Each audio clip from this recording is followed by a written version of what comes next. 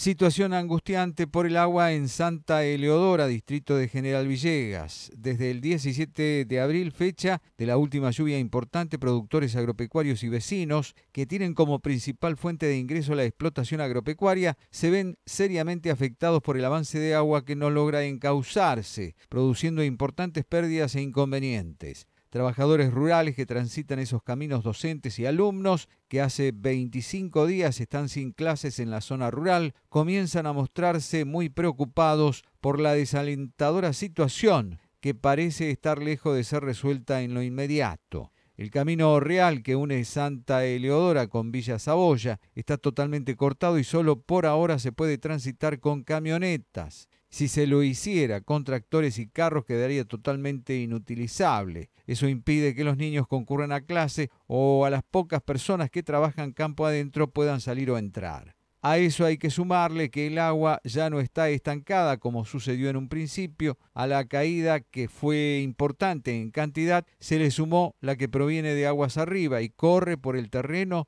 sin que los canales carentes de alcantarillas en algunos casos puedan contenerla desbordándose e inundando actualmente unas 1.500 hectáreas o más, que se encuentran en algunos casos con 20 centímetros en las partes altas y hasta un metro en los bajos. Esas tierras tienen soja y pasturas que ya se perdieron y maíz que todavía podría salvarse si se lograra controlar la situación.